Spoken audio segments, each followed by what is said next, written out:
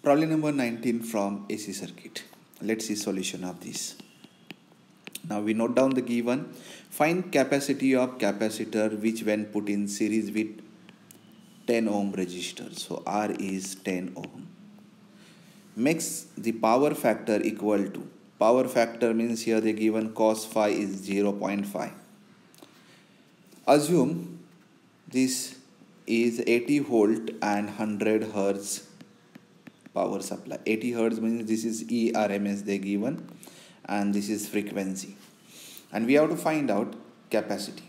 So if they given the power factor we can use the formula of power factor. Cos phi is equal to cos phi is equal to R by Z.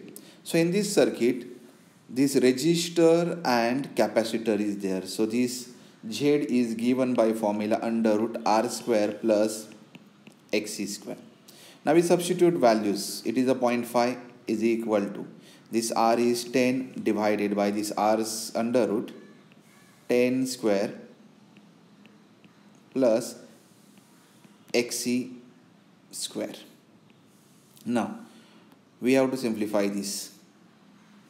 Now we can write here this is under root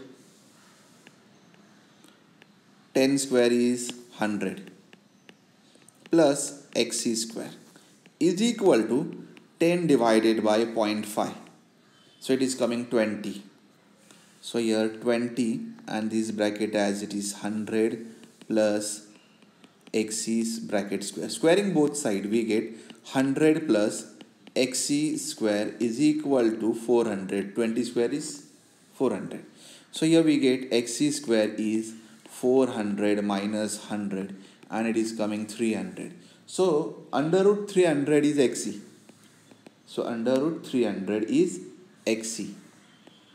So here xc is root 300.